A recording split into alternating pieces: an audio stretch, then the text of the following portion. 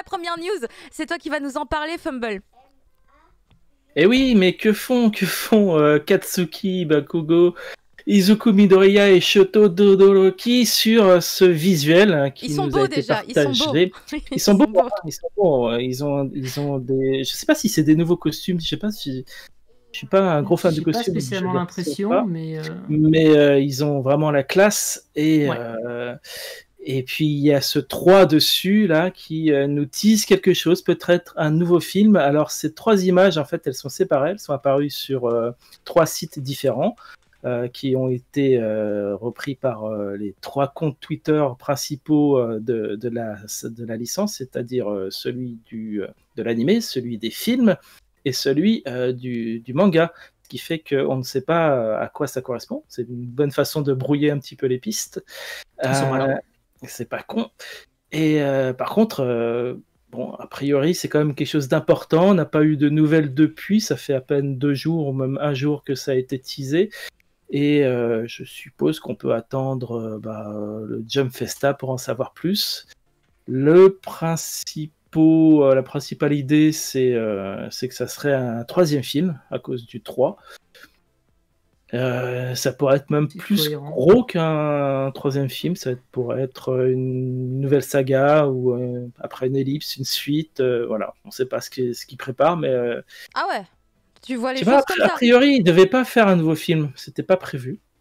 Donc, euh, moi, il me semble qu'ils avaient dit qu'ils s'arrêtaient au deuxième. Ils voulaient pas faire de bah troisième oui, film. c'est- c'était pas censé, euh, voilà. Et puis, euh, je sais pas, peut-être que ça va prendre une autre direction ou on verra. Mais en tout cas, je pense qu'à la Jump Festa, ils vont annoncer des trucs assez importants. C'est quand pour, le euh, Jump Festa My Hero Academia C'est le décembre. 19-20, D'accord. je crois. Je crois que c'est le 19 décembre. 19-20 décembre. ouais. Bon, il y a encore Donc, il n'y un a plus peu qu'à patienter. Voilà, il faut être patient. Mais euh, bon, voilà, la, la sphère du shonen est un petit peu en ébullition avec ça.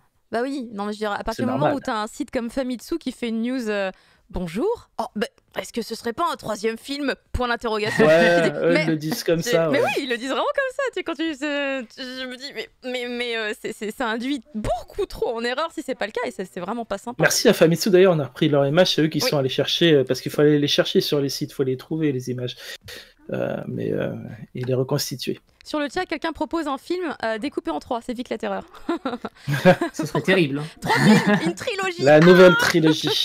Une trilogie, ouais, euh, ça serait. euh. Bah. Après, le 3, c'est les trois mousquetaires, euh, sachant que dans My Hero Academia, on a déjà One for All et euh, All for Ah bah oui, qui sont des euh, références à Alexandre Dumas à la base.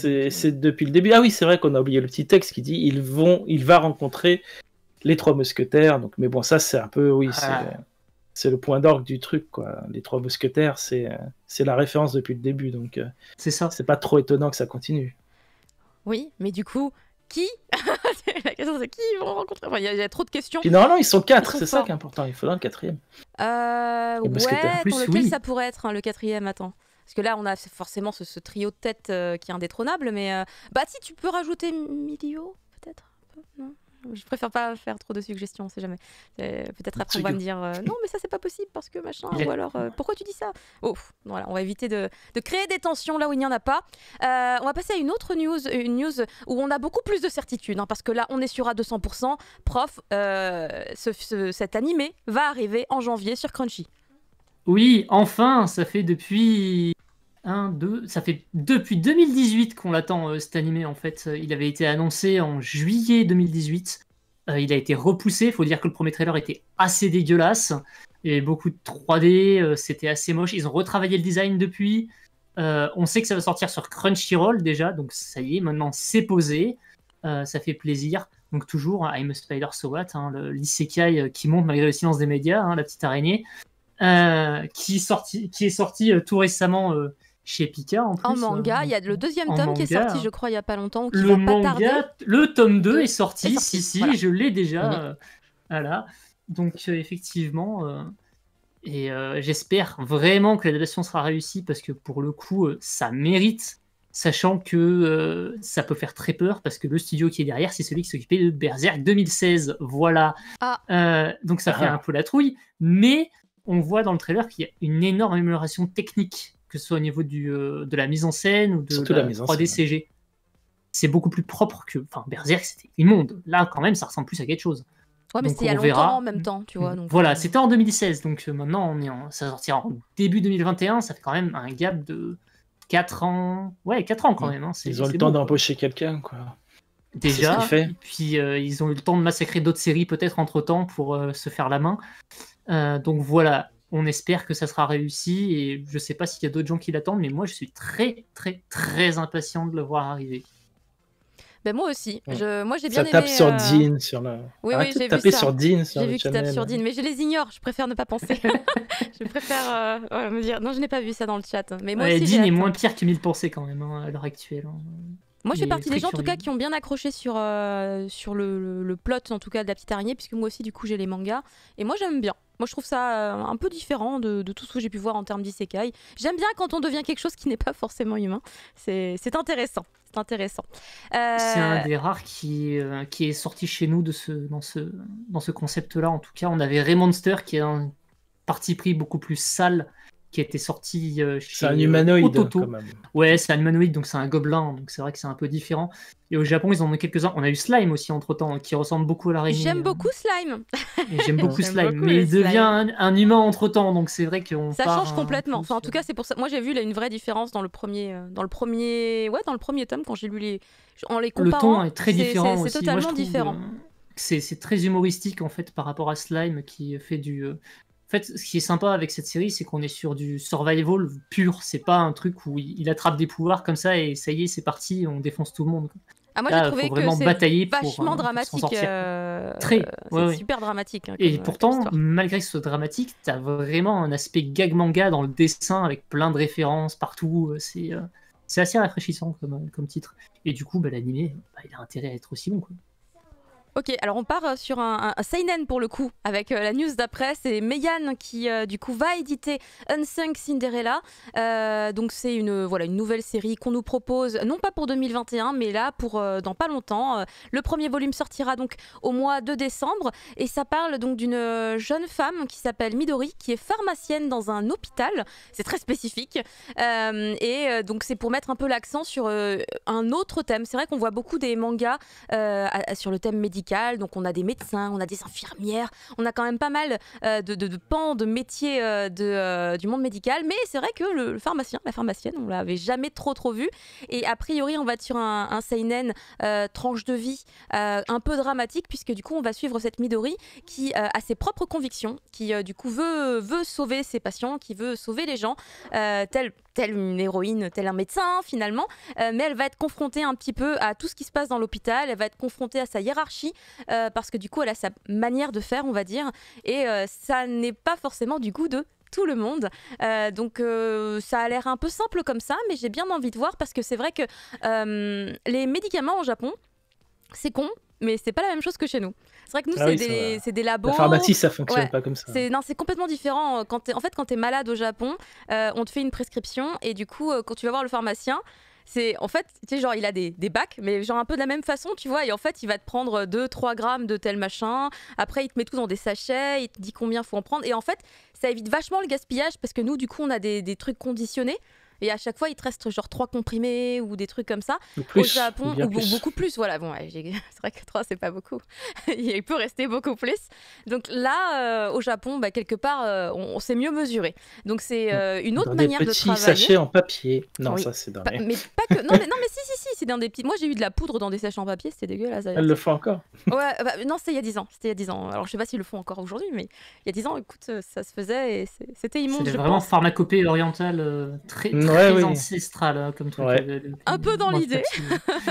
Donc euh, après, je sais Ils pas prennent les pilules, les, les re- ils mettent en poudre, tu vois. comment ça se passe la pharmacie dans euh, l'hôpital. Je, je, je sais pas comment ça se passe déjà en France, hein, tu vois, euh, au niveau de le- du stockage des médicaments. Est-ce qu'il y a vraiment quelqu'un qui gère ça, justement? Parce qu'au Japon, ça a l'air d'être le cas. C'est le, le pharmacien ou la pharmacienne euh, qui, qui doit gérer ça. Donc, elle, elle va juste euh, essayer d'aller aider ses patients, a priori. ah, on n'a pas eu le temps de voir le médecin, on n'a pas eu le temps de faire une ordonnance, mais je vous donne ça parce que c'est ça qu'il vous faut. Je l'imagine un peu comme ça. C'est un seinen qui vient d'un magazine de prépublication qui s'appelle le Zenon Comic. Je crois que c'est de là que vient. Euh, peut-être pas City Hunter, mais les séries qui en sont dérivées. J'ai plus le nom sous la main. Donc c'est un truc quand même plutôt sérieux, plutôt... pas du seinen léger. Donc on, on, verra bien au final où est-ce que ça va. En tout cas, ça marche pas trop mal pour cette série, puisqu'il y a une adaptation en drama qui va bientôt voir le jour. En même temps, vu le Ah oui, plot, euh, c'est vraiment le genre de truc que les. Japonais ils adorent en drama. c'est moi j'ai lu l'histoire, j'ai fait, c'était pas un drama avant? Ah, il y a un drama en Kingdom. Ça ne m'étonne même pas. La dernière série médicale que j'ai vue en drama, c'était Team Medical Dragon, qui avait eu un très bon manga. C'était il y a longtemps. C'était il y a longtemps. Ouais, ouais, ouais, c'était il y a très longtemps. Alors on est dans le thème médical, on va rester un peu dessus avec le trailer de euh, ce film Fumble. Oui, euh, ce film qui s'appelle José the Tiger and the Fish, euh, qui nous est offert par Kadokawa, donc, et qui est euh, plutôt magnifique. hein. Là, on n'a pas la musique, on n'a pas les dialogues, mais euh, tout est fait pour nous tirer l'arme, la larme à l'œil en deux secondes, euh, trois dixièmes. C'est que très vite tu chiales rien qu'en regardant le trailer. C'est vrai? Ah, Attends, je Ah oui, teste, je c'est, faut que tu écoutes. Il Ah faut oui, écouter entre, aussi, entre la chanson et tout, c'est. Et euh, donc, euh, c'est euh, une adaptation d'une vieille nouvelle par une dame qui s'appelle Seiko Tanabe. Ça a déjà été adapté en film en 2003. Et là, pour le coup, maintenant, c'est en anime. Peut-être parce que cette dame est décédée en, en 2019. Donc, euh, Ah. je sais pas, c'était prévu. Ça fait même. euh, c'est bon, peut-être un peu, un peu tôt, mais bon. En tout cas, c'est Bones qui s'en occupe. Donc, euh, c'est bien parti pour être réussi et magnifique. Et, et nous faire chialer au cinéma. Euh, voilà. Donc, euh, c'est euh, cette jeune fille qui, qui va rencontrer ce garçon qui va s'occuper d'elle. Et puis, intéressant. de la romance, Ah, à mon avis, oui. ça sera sympa quand même. Ah ben, ça, ça y ressemble en tout cas. ça oui, ressemble Ce bien. qui est c'est chouette, c'est bien. qu'on sait déjà qu'on va la voir. Ça, ça fait plaisir quand même. Ça fait un peu Perfect World, euh, non, dans l'ambiance. Là, comme ça, vu de Ouais, c'est vrai qu'il y a un petit air, ouais, effectivement. Il y a un petit quelque chose. Il y a, Il y a un petit euh, air. Animé HD qui dit sur le chat prochainement avec Eurozoom. Chez Eurozoom, ouais, ouais, tout à fait. Parce que euh, ça Donc- avait déjà été annoncé il y a un moment. ouais. Ah bah, impeccable. Voilà une bonne nouvelle. Du coup, on sait qu'on l'a déjà, donc c'est cool. hein. Puis en plus, comme ils ont annoncé que les cinémas allaient bientôt réouvrir, Alors on oui, sait bah, pas du quand coup, est-ce ce sera qu'ils vont les sûrement l'an prochain, refermer. mais Ouais, ça peut-être refermer. oui, c'est ça, c'est le risque. C'est ah super, ça rouvre, mais jusqu'à Ah, quand? c'est terrible. Jusqu'à quand? Eh ben le trailer, euh, il montre beaucoup de choses. Il n'y a pas que ce couple finalement, hein, et on en voit plein. Enfin, on voit plein d'autres Ouais. personnages C'est qui gravitent autour d'eux. Mm. Ah, je vois, je vois ce que tu veux dire par euh, ah ces moments de joie où tu as la larme à l'œil. Tu... C'est Je un vois mi-chemin entre, j'ai entre euh, Perfect World et euh, le dernier Yuasa avec la, avec la surfeuse. euh, Ah oui. Que j'ai pas vu, d'ailleurs. Petite ambiance. oui. Excellent. Ride Ouais, Your ouais. Wave, tout à fait. Ride Your Wave. J'ai pas vu non plus, attend je l'attends désespérément. Voilà, je suis quelqu'un de A priori, là, il n'y a pas de fantastique. hein, mais- Non, mais on va partir sur du fantastique justement avec Prof hein, qui va nous parler euh, des projets euh, du créateur de Gundam. Ouf, alors euh, Gundam, alors bon, bon, forcément Gundam, hein, vous avez vu les murs derrière, voilà. Comprends pas Grande histoire d'amour.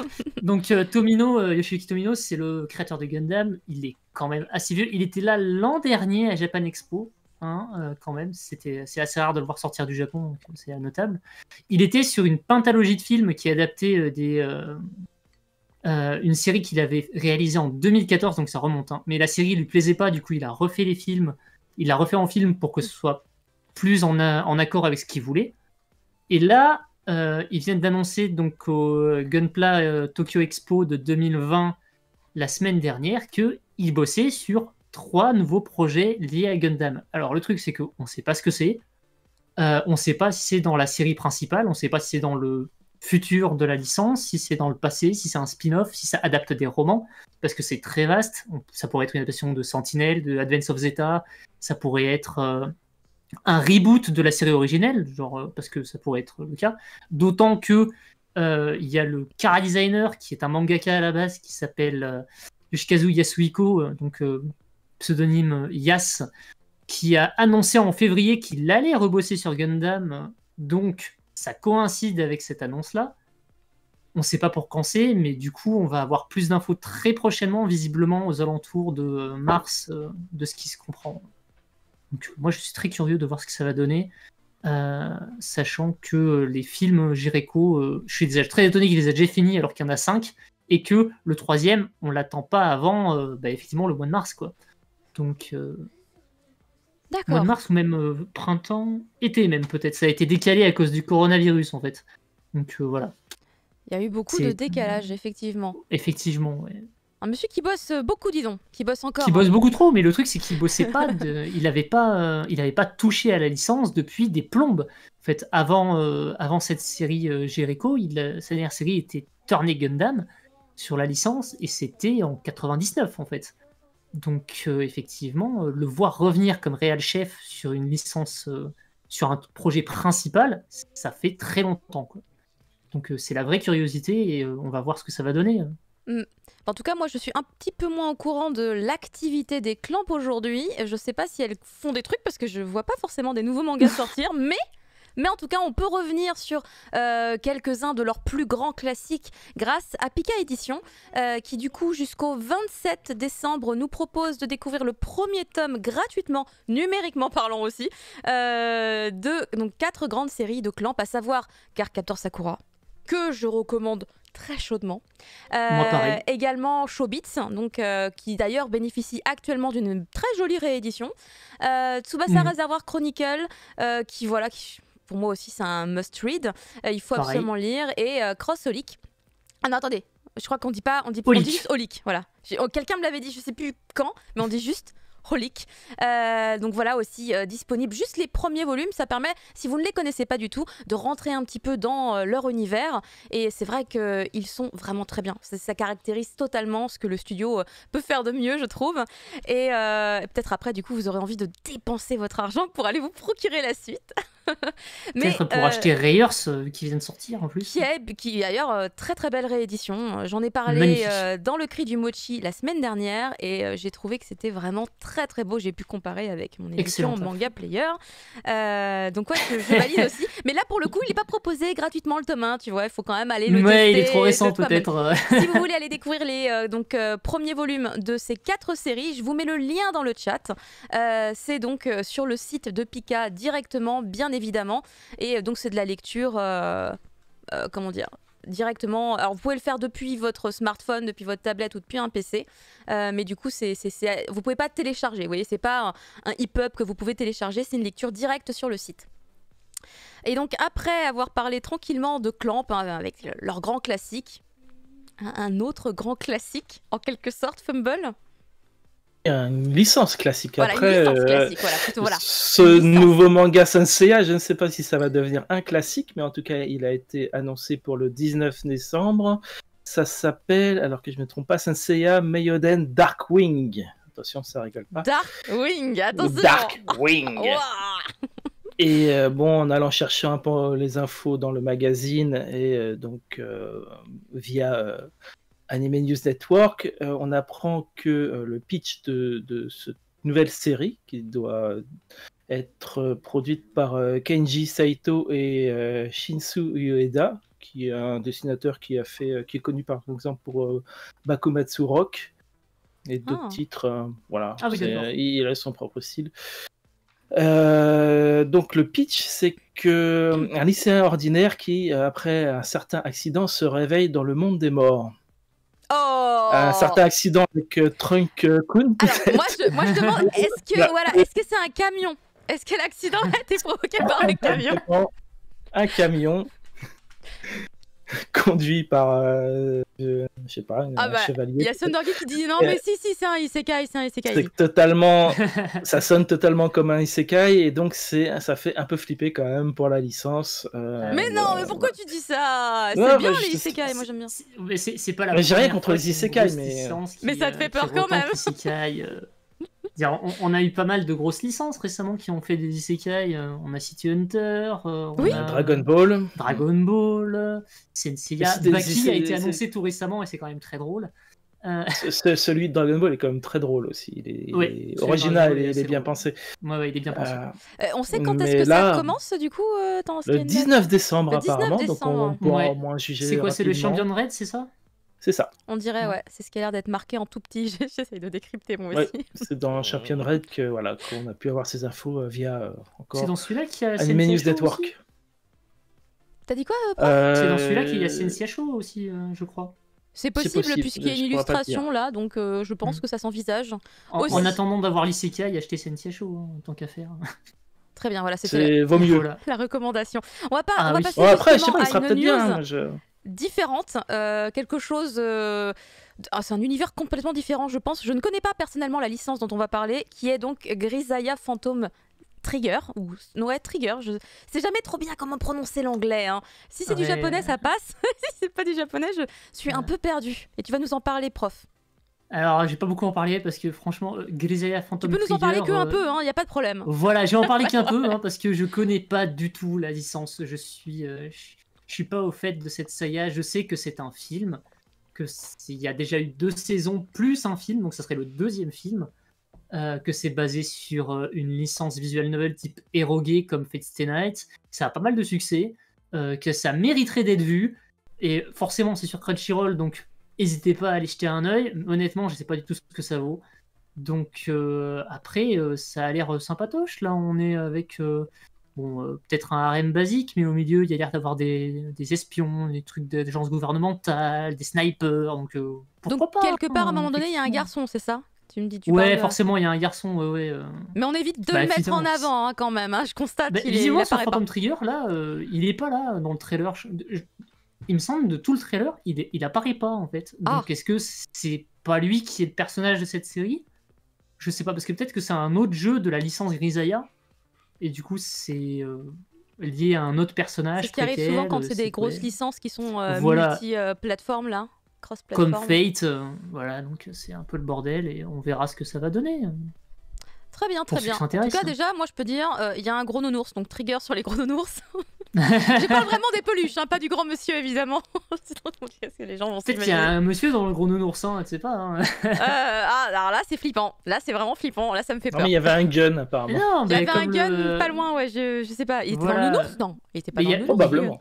Il y, a, il y a un personnage avec euh, déguisant en nounours avec des guns dans une série qui est sortie en roman tout récemment cette année, euh, euh, Infinite Dendrogram euh, chez Ah nous. oui, tout à Ah fait. Tout à fait, tout à fait, tout à fait. Voilà. En euh, light J'ai pas accroché.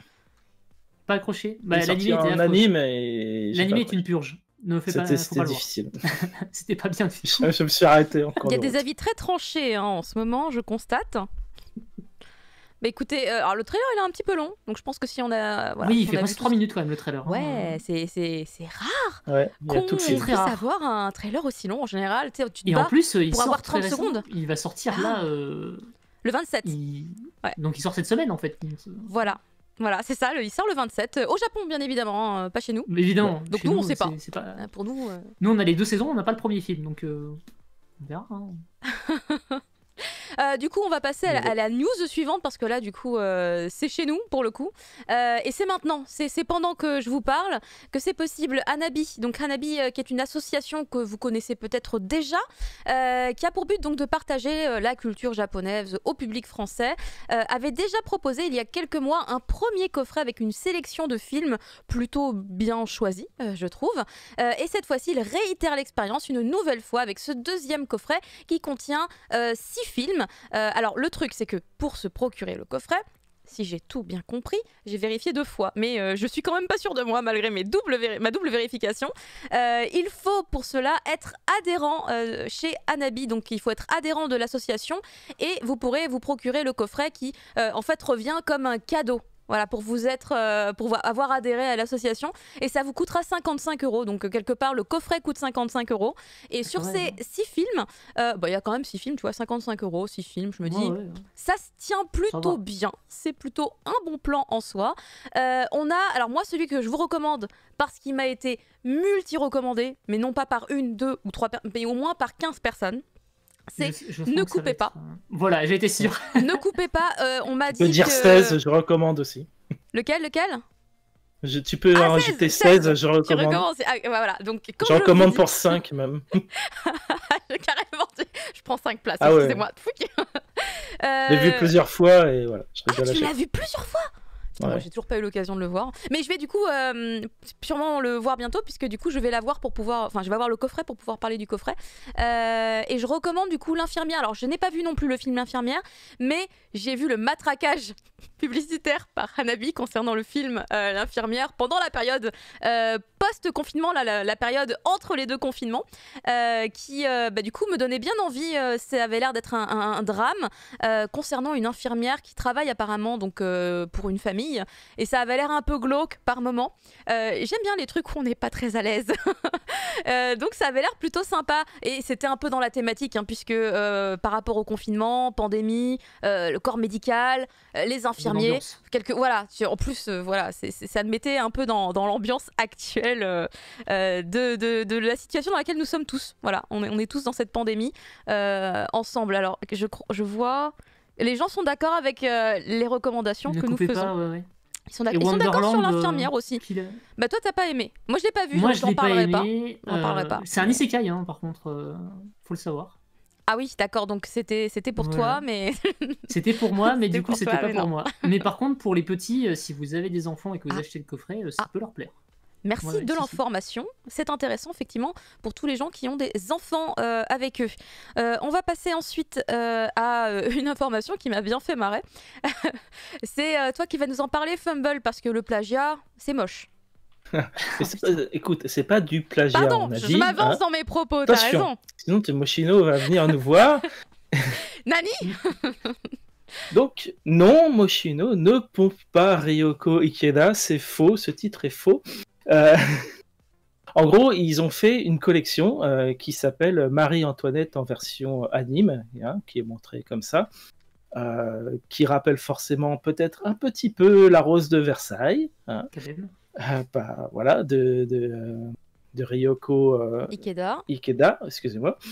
Mais euh, si on regarde certains tweets indignés des fans, on voit bien que le, par exemple là on a le, le design à gauche et l'original à droite, on voit bien que c'est pas du tout la même chose et que c'est largement plus moche. D'ailleurs, c'est ce qu'a répondu la société de production qui s'occupe de la des licences de, de, l'autrice qui a ah. été contactée par Anime News Network et qui a expliqué que euh, les designs euh, étaient si grossiers qu'ils choqueraient non seulement l'autrice mais aussi les fans.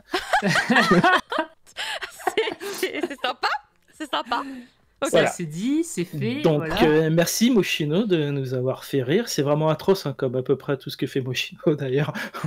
Alors du coup, Moshino, c'est une marque de fringues en, oui, c'est une marque de fringues. Ça ou en Italie euh, C'est en Italie, Italie? En Italie, oui. Mais bon, c'est pas la première collection qu'ils ont qui est absolument dégueulasse. Euh, mais voilà, ils font, ils font des trucs pop culture, ils font des associations. Moi, je, trouve ça très laid tout ce qu'ils font. Mais là, en plus, c'est en plus euh, un petit peu abusé. Voilà. Des associations que nous, en tout cas, on n'aurait pas envie de faire, a priori.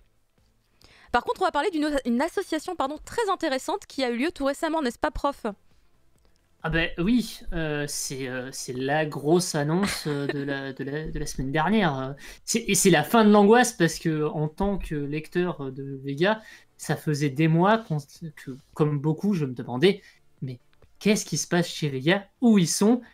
Pourquoi il n'y a aucune communication? Ben Maintenant, ça y est, on sait, Vega part chez Dupuis. Donc Dupuis, c'est l'énorme éditeur historique de, de bande dessinée franco-belge qui a Spirou quand même. Hein, donc qui est basé à Charleroi euh, et euh, depuis euh, un moment. Effectivement, ils n'avaient pas de pôle manga. C'était le dernier gros éditeur de BD qui n'avait pas de pôle manga parce que les autres ont Kana, voilà, par exemple, le groupe d'Argo, tout ça. Effectivement, Dupuis lance son pôle manga avec Vega, qui sera géré par Stéphane Ferrand, qui du coup rejoint Dupuis aussi. donc, grosse annonce. Mm. beaucoup de projets et euh, forcément euh, euh, des, ambitions démultipliées parce que entre Vega qui était ses Steinkiss à la base et Dupuis qui est un mastodonte de la bande dessinée, forcément c'est plus du tout les mêmes enjeux et on part sur des projets sur la comète pendant des années. Donc là, mm. l'an prochain, il y a quatre nouvelles séries qui arrivent. à terme, ils annoncent pour 2022 70 à 80 nouveaux tomes sur l'année fait quand même pas mal. Hein. Euh, ah oui. J'étais en train de me demander si depuis allait vraiment prendre le truc sérieusement. On dirait que oui. Sachant que, tous, les, tous, les, titres de Vega débarquent chez Dupuis, forcément, donc ça va se terminer chez eux. Donc ils vont rajouter un tout petit logo Dupuis en dessous de Vega pour essayer de pas choquer les gens qui n'aiment pas que les collections se, se dépareillent Bah, à cause d'un C'est changement. ce que j'allais voilà. dire, euh, parce que bah, du Oh coup, moi, euh, mes tomes, euh, bah, comment ça va se passer Tu vois, moi, je- j'en ai Voilà. plusieurs aussi. Et comment on fait? Ben, moi, je les ai tous, hein, à peu de choses près. hein. Je dois avoir 95% du, euh, du catalogue parce que je- ça me parle énormément. Et effectivement, bon, je leur concéderai le petit logo du puits en dessous. Ça va, ça va pas me choquer trop longtemps. C'est, je, je m'y ferai. Franchement, on, peut ne pas leur cracher dessus pour ça. hein. Surtout que on annonce du très très lourd et euh, toutes ces infos, on les doit à Rémi chez Bodoy qui a fait une interview incroyable là-dessus et qui en dit encore plus forcément. Donc euh, on vous redirige dessus euh, pour en savoir plus évidemment, sachant que en plus de ça, Ferrand va gérer aussi l'aspect webtoon de chez Dupuis qui a son Oh là oh là truc, là, euh, là, dématérialisé. Il se passe beaucoup trop Voilà. de trucs d'un coup pour. euh, C'est énorme, hein. vraiment, c'est une énorme annonce en fait. hein. Et euh, que Ça fait très potentiellement, le Spirou Mag pourrait accueillir du manga en prépublication. Oui, c'est vraiment énorme. Euh, Donc voilà. On Mais passe un cap euh, quand même, parce que le manga, a, retravaillé. le manga Mais a voilà. toujours été regardé avec, euh, de la part des, des- des professionnels du monde de la BD, quand même pendant de nombreuses années, avec tu vois, un, un regard un peu hautain, hein, on va dire. Un Euh, peu hautain. et là, de Sauf chez que- où il y avait vraiment quand même. Ah ouais euh. J'ai pas forcément fait gaffe à euh, qui, comment, qui regardait comment, mais de manière propose, globale, c'est ce que moi j'avais remarqué. Il y, a, pas mal de trucs chez Dupuis qui se rapprochent du manga, qui, enfin, ils sont vraiment très larges de ce côté-là, et c'est vrai qu'il y a une ouverture d'esprit, et je comprends leur volonté de mélanger le manga et le franco-belge dans leur magazine, sachant qu'ils vont peut-être faire venir des artistes japonais, peut-être proposer des artistes français de travailler du manga, enfin voilà, ça va être mélangé. Ils ont une collection air libre pour les trucs euh, un peu euh, plus, euh, un peu moins jeunesse, qui permettra de sortir peut-être des trucs roman graphique. Euh, voilà, euh, du coup, euh, effectivement, ça annonce de grandes choses. Et Vega qui se lançait sur le CNN va continuer le CNN, mais aussi s'ouvrir au shonen et au shoujo. Donc voilà, a vraiment beaucoup, beaucoup, Mon beaucoup Dieu de trucs. Je comprends mieux les la fête. 80 tomes dans l'année. voilà. Je comprends mieux là les, tu vois. euh, Je veux dire, waouh, 80 tomes de Franchement, on, on fait sauter le champagne tout de suite. Moi, j'attends beaucoup. Euh, En J'attends vraiment cas, les au annonces Japon, euh, de il l'année va prochaine. falloir qu'ils carburent là, parce que Là, ils vont carburer, oui. Et puis, euh, ils vont plus avoir de série, ils vont, ils vont être très courts au bout d'un moment. Stéphane Ferrand, le français, là, le- Japon, il va euh, dire, mais attendez, j'ai plus rien en stock. C'est un dénicheur incroyable, Ferrand. Il avait ramené des titres incroyables chez nous. Bon, il y a les Gouttes de Dieu, c'était quand même euh, voilà, un énorme succès chez nous.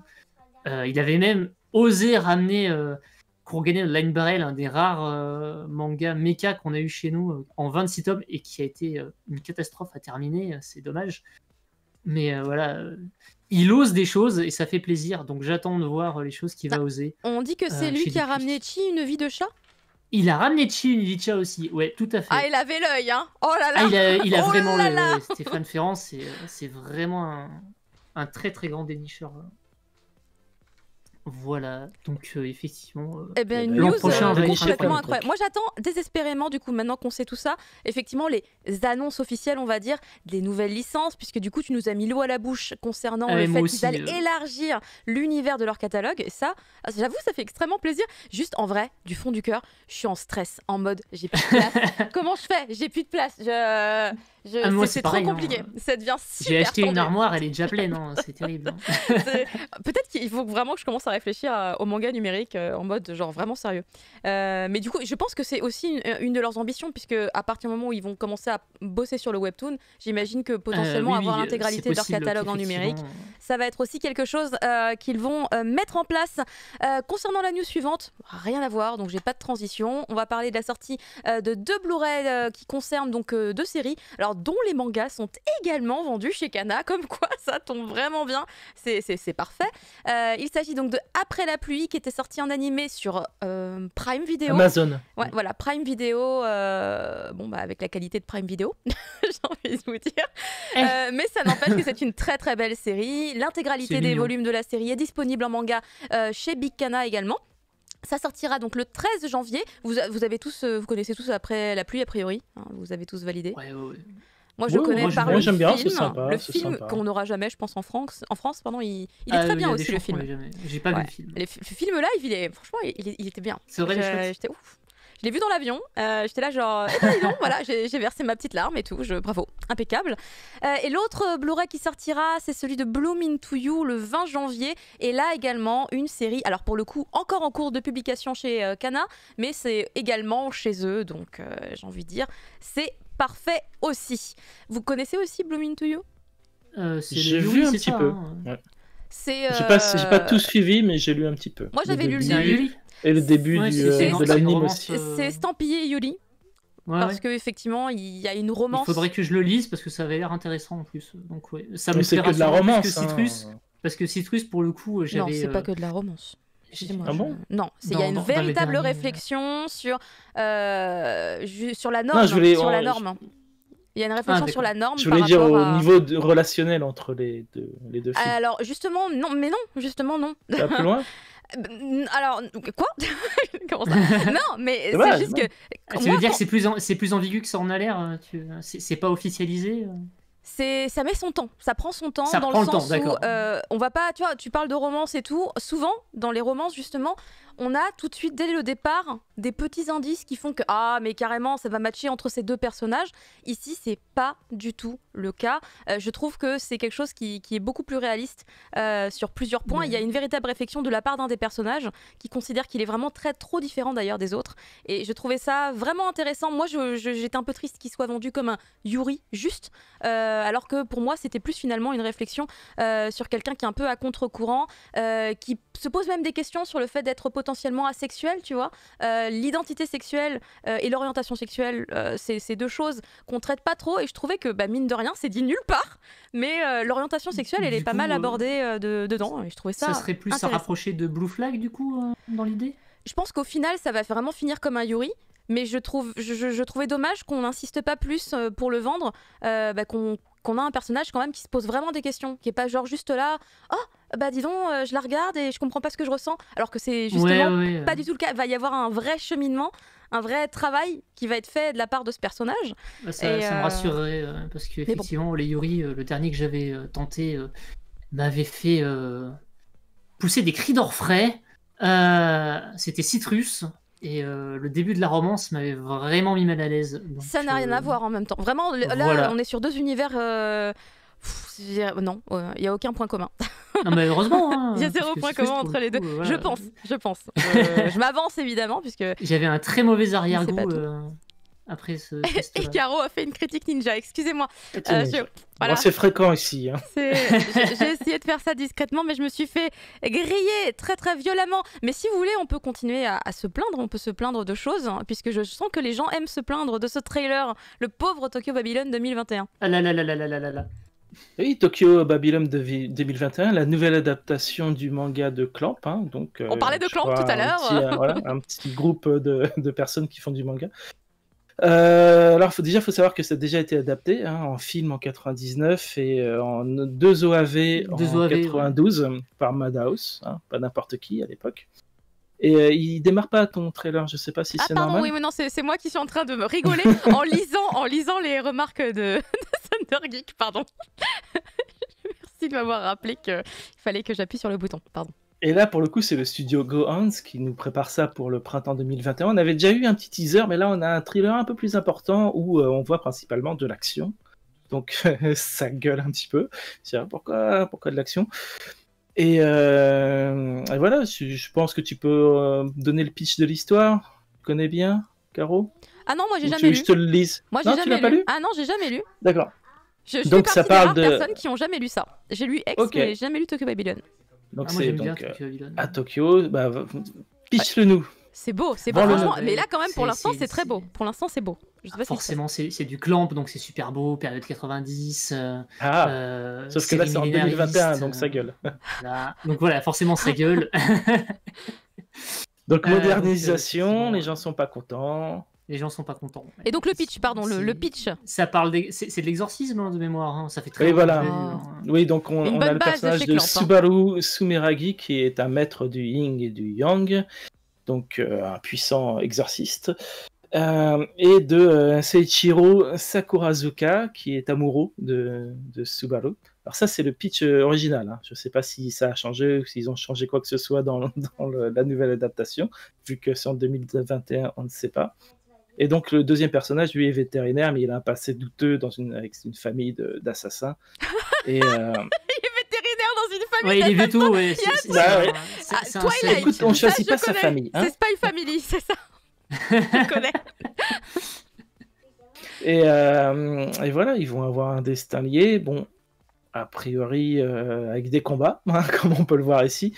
Euh, mais c'est pas le, normalement le cœur du manga, mais bon, c'est peut-être ce qu'ils ont voulu mettre en avant dans, dans le, trailer pour que ça pète un peu, quoi.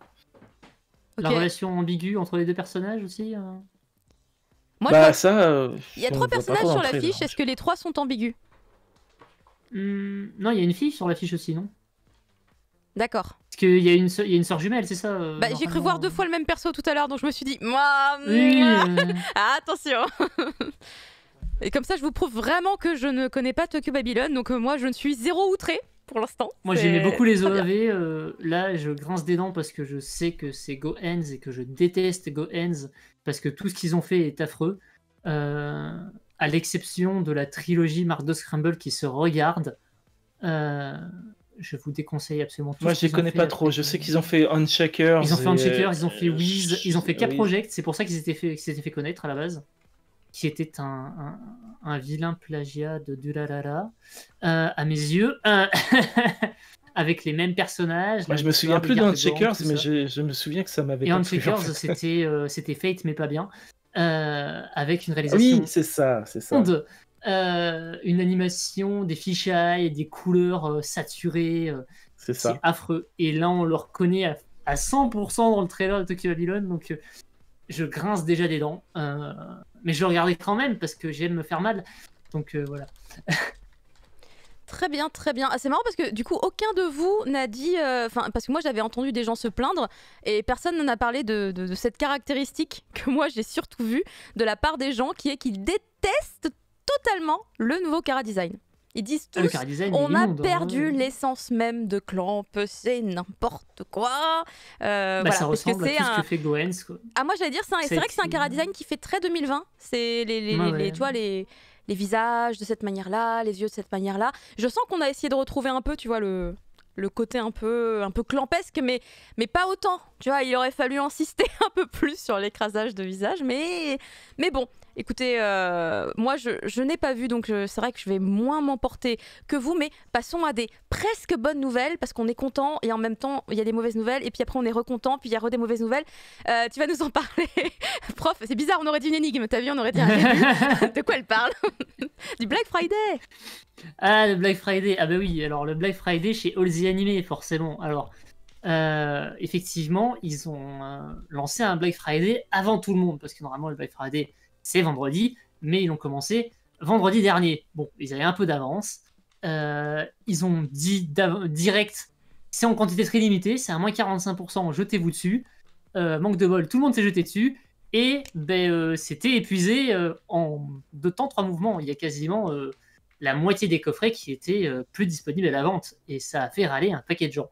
Ce qui fait que ce soir, ça fait plaisir. Ils ont refait une annonce en disant on a remis du stock, allez-y, mais c'est toujours en quantité très limitée. Donc profitez-en, ils viennent de le refaire du stock, jetez-vous dessus, mais dépêchez-vous parce qu'il y a déjà des trucs qui sont. Les euh, montagnes russes de l'émotion. Ah ouais, mais vraiment quoi, en fait? Ils ont soulevé des canapés, ils ont cherché dans les fonds de tiroir, ils les coffrets Gundam, les coffrets SNK, euh, voilà. J'imagine trop quelqu'un qui fait. J'en ai trouvé un dans le coin là-bas, regarde, j'ai trouvé un coffret, on le rajoute. Voilà, c'est vraiment ça. Non, mais à mon avis, ils ont laissé du stock de côté, ils ont attendu, puis en fait, ils ne sont pas attendus à ce que ça se parte aussi vite ou ce que ça parte autant. Et effectivement, du coup, ils ont dû remettre du stock en catastrophe parce que ben, euh, ça commençait à gueuler. Il y a du Gundam, et effectivement, moi, je me suis gavé euh, dès vendredi midi. Donc, moi, j'ai déjà tout acheté avant tout le monde, hein, parce que je suis. Euh, il y avait beaucoup de choses un peu malin et que il y avait beaucoup de trucs intéressants forcément. Il y avait Yuasa, le, coffret Yuasa. Il y a les coffrets Yuasa. J'ai déjà le coffret Yuasa. Les enfants du temps. Euh, je crois, hein, c'est ça. Moi, je hein, voulais prendre l'attaque des titans, mais euh, en fait, euh, j'ai regardé en faisant mon panier, j'ai fait des Titans. Mais ça coûte beaucoup trop cher quand même, Caroline. Laisse Eh, tomber. Un, un jour prochain, quand tu seras ça. riche. Après, euh, il y a des coffrets, bon voilà, 60 euros, mon 45% quand même. c'est Ah non, mais quoi, totalement. Mais tu sais, quand tu dois prendre, euh, regarde l'attaque des titans, il y a Mais effectivement, on va prendre 10, il y a bah, ça fait deux 200 coffrets balles. par Donc, bon, saison. bah, euh, voilà. Attends, 35 plus 35 fois, enfin 35 fois 6. Voilà, 35 fois 6. C'est ça. ça fait quand même beaucoup de thunes, tu vois. J'ai Ah ben, pique, hein, malheureusement moment, pas ouais. autant d'argent sous la main et j'avais pas envie de prendre juste un coffret, tu vois. Je, je me suis dit non, si je prends, mais je prends tout. Donc je pense Bah que je vais attendre tranquillement d'ici, je pense à peu près peut-être, allez quoi, un an et demi, deux ans. Je suis sûre ils vont nous sortir l'intégrale à 150 boules et j'aurais fait des économies. Non, franchement, ça se tente. Donc, Ouais, attendant, ouais, si bah, tu as le- besoin de ton fixe de Attack on Titan, tu vas sur euh, Kali, mais c'est bon. hein, sur, le, sur le site de alltheanime.fr, du coup, ouais, vous pourrez trouver euh, tous les Gundam qui sont pas disponibles ailleurs, notamment euh, Unicorn, euh, Thunderbolt, euh, Iron Blood Orphans qui sur Netflix, donc celui-là, vous n'avez pas besoin de l'acheter, mais achetez-le quand même parce que c'est cool. Euh, voilà, et puis Netflix ne gardera pas forcément longtemps. Euh, C'est Et si vous avez besoin de savoir comment- bien sûr, parce Ouais, que si, il y a si la vous avez besoin de savoir quel Gundam vous comptez pas. commencer, il y a un article sur IGN de Prof Isekai il y a un moment, ouais, ouais, effectivement. qui, qui est toujours valide, hein, je pense. est Vous toujours pouvez valide. Savoir lequel regarder en premier et ceux qu'il faut éviter aussi. Et ceux qu'il faut éviter aussi. euh, Est-ce que j'avais dit que ceux qu'il fallait éviter? Je sais plus ça. Je sais pas, mais vu qu'on est en train de parler de All the Anime, je me suis dit que ça tombait bien euh, d'annoncer une nouvelle euh, licence qui arrive. Enfin, c'est pas vraiment une nouvelle licence, c'est la suite euh, de Mob Psycho, puisque du coup, c'est chez eux qu'est sorti le premier coffret, celui de la première saison, qui d'ailleurs est. Et bien d'ailleurs, Toujours euh, il- il, disponible. est en Black Friday aussi celui-là, donc profitez-en. Attends, attends J'interromps l'émission, excusez-moi, je vais tout de suite aller l'acheter. Non, mais pour de vrai? Il est. il Oui, est bah oui, moi je, l'ai- je Mais l'ai acheté, ce, ce- je l'ai acheté vendredi, moi. Attendez Moi, je me disais, mais non, mais euh, du coup, c'est pas encore euh, mis en place et tout. J'ai pas. Moi, Bah, j'ai la juste saison vu. le- 1, elle est là, si, si, euh, si tu veux Mais acheter Black non. Friday, si, si. Mais- Elle y est. euh, Ah non, si, la saison 1 J'ai cru que tu me parlais La de la saison saison 2. Ah non, Ah la non, 2 pardon. pas Ah encore, non, d'accord. heureusement. Non, la 1, je l'ai déjà. Moi, attends, j'ai- moi, je j'ai suis une. profité d'acheter la 1. je suis une bonne fan, Quand ils ont annoncé la 2, j'ai fait Ah ben allez, on prend la 1. Donc si vous l'avez pas déjà, prenez-la. Non, moi, j'y allais pour, euh, pour, la, pour, la, pour la 2, tu vois. je- J'avais pas compris, excuse-moi. Non. Très bien, non, non, non, bon, impeccable. Bon, je l'ai déjà. Je l'ai déjà acheté, euh, je sais plus, euh, je l'ai acheté quand c'est sorti en fait. Euh, donc, je l'ai déjà. Mais du coup, la saison 2, qui est pour le coup disponible également sur la plateforme Crunchyroll, puisque c'est là que vous pouvez retrouver du coup les deux saisons. N'hésitez pas, c'est vraiment un excellentissime animé. Il est, il est sublimé. Par rapport au manga qui, à mon goût, est déjà très bien, mais il faut être capable de passer outre euh, le, le- le trait de One qui est un petit peu particulier. Je suis d'accord, je, je ne vais pas dire le contraire. Euh, mais pour les coup, coups, il est conservé, mais euh, Ah oui. comment ça il est Justement. conservé? Bah, le trait est conservé dans, dans Le l'anime, trait, est- euh, le, le- le trait de l'auteur est conservé. pour le cara Dans design. l'animé C'est la- Voilà. Je trouve Oui, qu'il est quand même design. vachement sublimé. Je trouve qu'il est vachement Par sublimé. la direction artistique, oui. Et les Par effets la direction spéciaux. artistique, c'est incroyable. Enfin, euh, de toute façon, Mob Psycho, euh, c'est quand même une des meilleures séries de la décennie. et- Ce sont les meilleurs actuelle. génériques que j'ai jamais vus. T'as la tête qui tourne à la fin, mais j'adore. Euh, C'est trop trucs bien. que j'aime le plus. Et euh, du coup, oui, effectivement, voilà, ça arrivera pour 2021. C'est pour ça, tu sais, quand t'as commencé à me dire, ouais, attends, c'est dans les, dans les soldes, j'ai fait, pardon, attends, mais c'est pour 2021, Maintenant, est-ce comment c'est possible? La question, c'est est-ce qu'on aura une saison 3 euh, pour euh, conclure? Parce que là, Il faut, il faut. il faut. Il y a Il faut. Non, parce que sinon, bah, on par va Bones, faire hein, des manifestations. pas. Ah bah par Bones évidemment parce que de toute façon meilleur studio de- du Japon. Bah oui, mais bon, on a vu ce que ça a donné quand même leur fil euh, des licences à d'autres. Oui, bon, est-ce que est-ce qu'on est là en train de, de dire euh, qu'on est qu'on est qu'on a qu'on a peur alors que regardez ces, ces belles images, ce que fait Bone, c'est magnifique. c'est magnifique. Voilà, C'est c'est c'est sublime. Moi, tout de suite, ça m'a redonné au moins 15 ans de vie. je, vais beaucoup mieux. C'est comme un, un médicament, ça fait du bien. Je le regarde et puis après. Tellement euh, beau et en plus c'est- c'est- le truc c'est que au début tu te dis ouais c'est juste divertissement et finalement pas tant que ça. Il y a quand même un fond et c'est tellement bien écrit les relations entre les personnages c'est beau ça te fait chialer en vrai. il, il est trop Moi, fort. pleure Il est trop fort, One. Il est vraiment euh, un talent incompris hein, pour les gens qui n'ont pas commencé. Très clairement, euh, allez-y. Et donc, c'est important de dire lui, qu'il y a hein, la deuxième saison euh, qui arrive euh, donc très bientôt en Blu-ray. Euh, on va parler euh, de traduction avec toi, Fumble. Oui, des traductions euh, du japonais vers le français. Euh, c'est ce qui arrive pour les mangas. hein. Nous, on regarde en Vost les animes, mais les mangas, euh, pas encore. Ah, Euh, on a besoin de la VF. Et, euh, et des traducteurs, il y en a un paquet. Des mangas traduits, il y en a un paquet. Et depuis quelques années, on a le prix Konishi pour le meilleur traducteur de l'année. Euh, donc voici les nommés euh, de, de cette année qui sont quelque part par là. Je les ai. Alors on a Voilà. Shadow House, ça j'arrive à les détecter un peu. Alors attends, moi si je les prends dans l'ordre du site officiel, on a Tokyo Tarareba Girls que je n'ai pas encore lu. Chez le Génial. Lézard Noir par euh, alors Miyako Slocombe. Oui. On va donner les noms puisqu'on les a. Bah oui. Shadows Ah bah oui. House Oui. chez Glénat par euh, Akiko Indei et Pierre Fernande. On a Spy X Family, hein, le meilleur Family, manga. Alors je sais X, pas si ça pas, sera la meilleure traduction. Il n'y a pas le X, euh, monsieur. Spy euh, Family monsieur. Moi je Spy dis Family. toujours le X. Non, non, non, c'est Spy Family. J'ai pas le droit. Il commence à faire chier. Je, suis, je, boude, voilà. Je. Donc deux traductrices, euh, Satoko Fujimoto et Nathalie euh, Bougon-Bastide, chez Kurokawa. On a moi aussi, euh, en deux tomes, hein, chez Yu- euh, traduite par Yuki Kakiichi et Nathalie Bougon-Bastide, qui est encore nommée. Voilà, un manga qui prend au trip hein, dès les premières pages et qui te lâche plus jusqu'à la fin. Truc de ouf. La jeunesse de Yoshio, œuvre 1973-1974. Le traducteur, c'est Léopold Dahan, hein, qui est un nom qu'on reconnaît euh, assez fréquemment. Il y en a d'autres, hein, des noms. euh, Il y, a- il y a des noms où tu fais bon, d'accord, tu connais pas. Il y en a, au bout d'un moment, tu, tu les Tu les repères retrouves, et, ouais. et tu les retrouves. Il y en a des très connus. Euh, Girls Last Tour chez Omake, euh, traduit par un certain Florent Georges, Gorge, euh, un type euh, inconnu. On lui fait des bisous. Aria, Florent Gore, je t'aime, je t'aime, je t'aime, je t'aime. Aria de Masterpiece, euh, traduit, alors, traductrice Géraldine Houdin, et pas Ondine, mais c'est Houdin. Enfin, voilà, petit jeu de mots, merci, au passage. Non, ça vous avez fait pas, ça vous pas fait. Je suis désolée, pardon, je... pardon, je suis navrée. Oh, je sais pas quoi dire, pardon. Sylvain. Cholet, il est connu, Sylvain Ah oui, Cholet oui, a oui. traduit euh, l'appel de Cthulhu. Ce qui est un- vraiment, euh, un- à mon avis, un exercice vraiment très intéressant parce qu'il y a les traductions des romans déjà et tout ça. Euh, le Dr Stone euh, chez Glénat a été traduit par Karine Rupp Stanko. Donc ça fait déjà quand même pas mal d'épisodes de, de volumes qu'elle est dessus. Johan Leclerc, qui a un nom qui revient aussi, Oui. euh, a traduit euh, Bakemonogatari, et donc une vraie prise de tête. Oui, c'est ce que tout le monde dit. Dans le chat, je- ils sont en mode, oh là là là quand tu vois le bouquin de base. Mais il n'y a, pas- y a pareil. pas que ça, c'est chacun a sa propre, propre prise de tête. En fait, si tu regardes Dr Stone et tous les, tous les, La tous les science termes euh, ouais, ouais. scientifiques, tous les termes scientifiques à traduire, c'est voilà.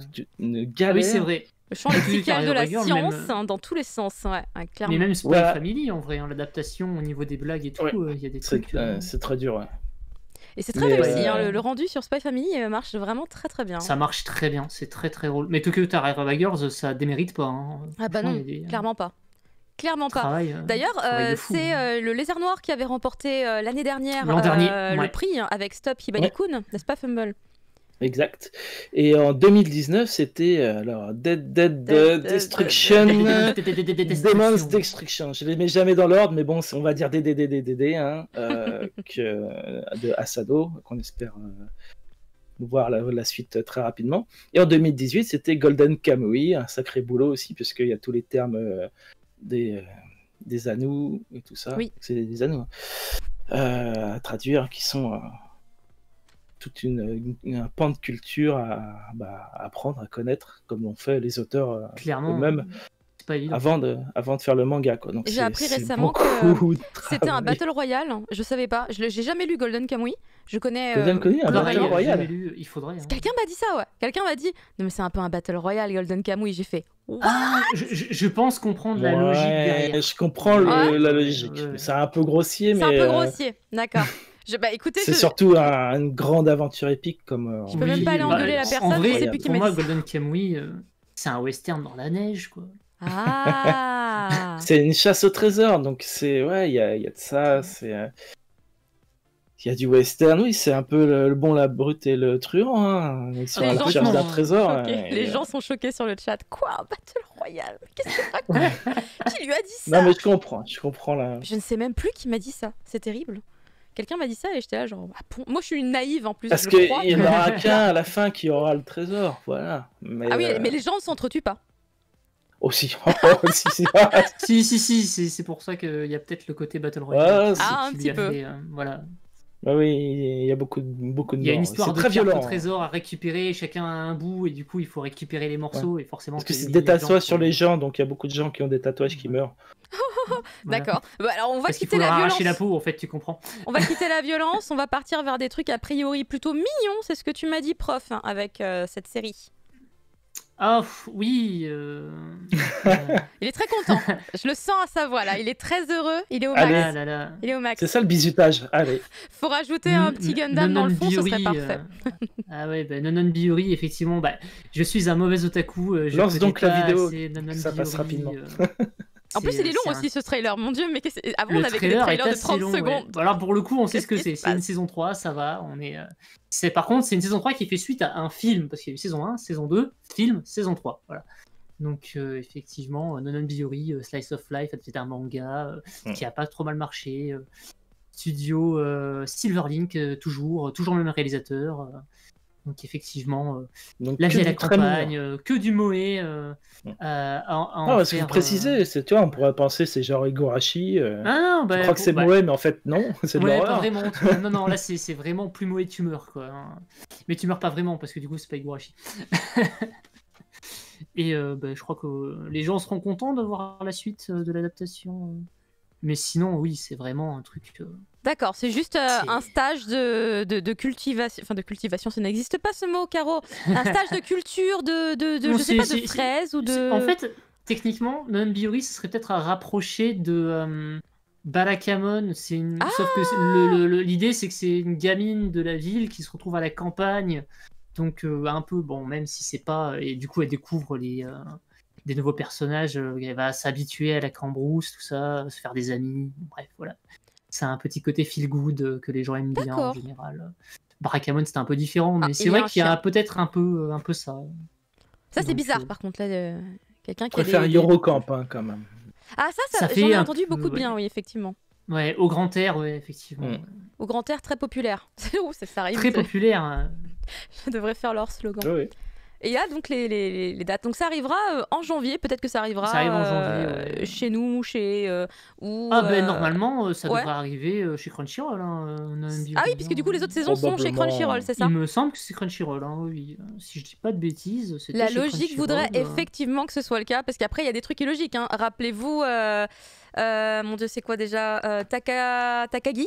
Takagi, euh, la saison 1, Euh, elle était sur Crunchy, ouais, et la ouais, 2 euh. sur Netflix ou l'inverse, je sais plus, j'ai un doute. Je crois que c'est la. Ouais, mais Netflix, c'est des voleurs. Non, non, non, c'est illogique. C'est illogique, les, les trucs, je te la jure. Mais ils sont coupés, les trucs, c'est trop bizarre.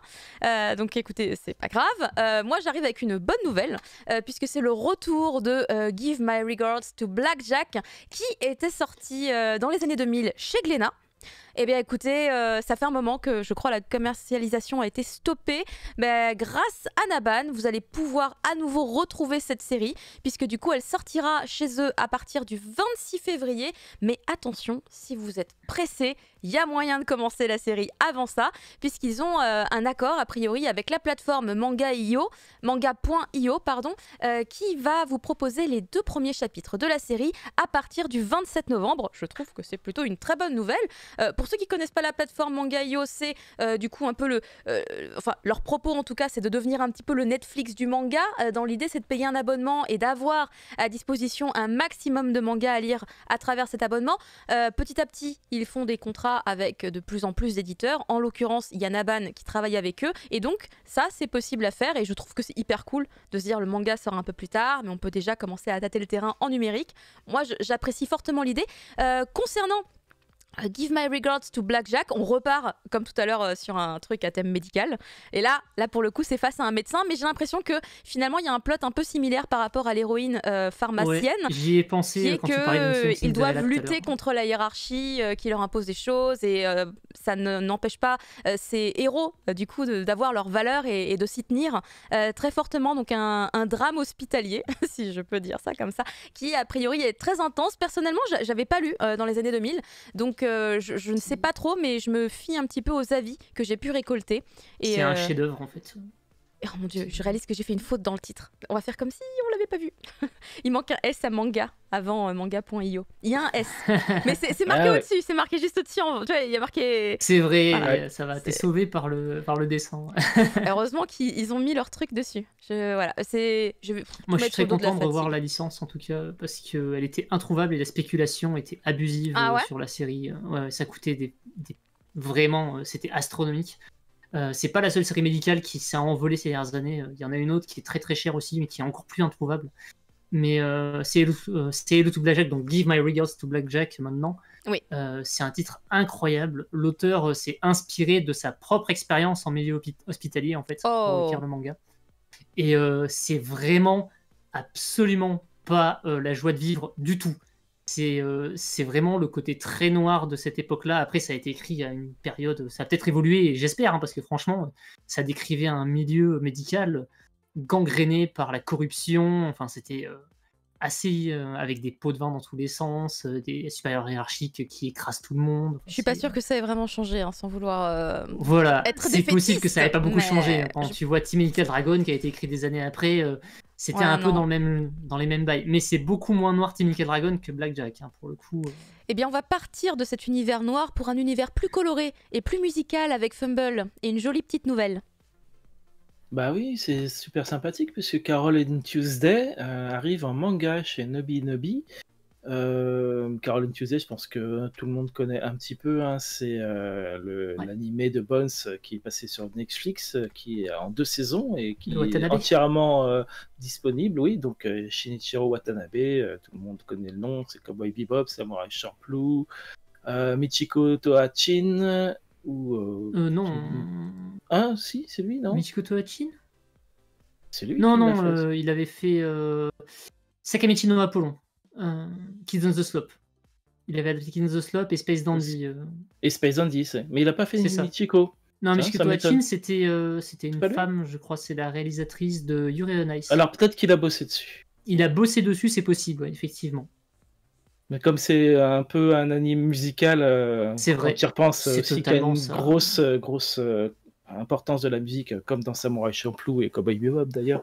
Euh, oui, oui, euh, de toute façon, toujours hein, chez lui. Donc euh, c'est toujours un petit peu bizarre de voir ça arriver en manga puisqu'on n'a pas la musique. Donc je conseille de prendre la bande originale Et de lire en l'écouter même temps. temps. Et donc euh, la série, la série se finit en trois tomes, ce qui me paraît un peu étonnant. Pour euh, ça fait 16 chapitres, je crois. euh, Bah, vu qu'il n'y a pas la musique, hein, euh, ça Ouais, va peut-être plus vite. Il y a quoi Il y a 23 épisodes à la base hein? Oui, il y a comme. euh, Ça fait comme très court quand même. J'aurais plus vu ça en 6 ou 7 tomes en fait avec ce Ça, format-là. ça m'étonne un peu. Donc on verra un peu comment ils ont adapté ça. Peut-être que j'aimerais bien donc, que ça raconte un peu des choses différentes que l'anime. Ah ouais? Mais Ça serait je sais pas. intéressant. ouais. Je, je trouve ça, je trouverais ça plus sympa, ouais.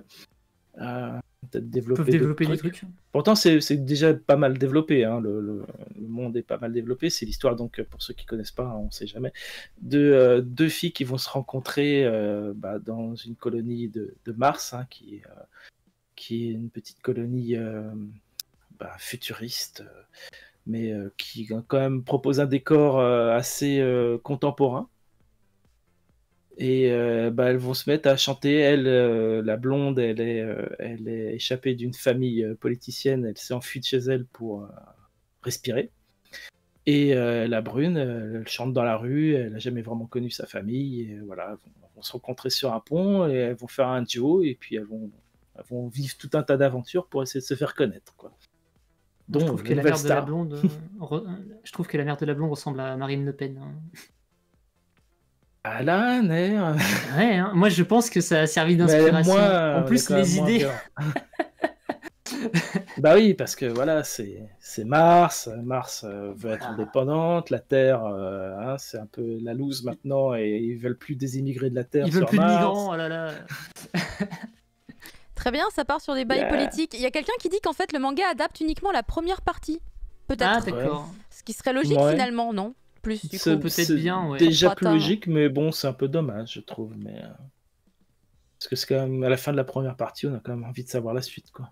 Ah, du coup effectivement Watanabe produisait Michiko Tohachin. hein.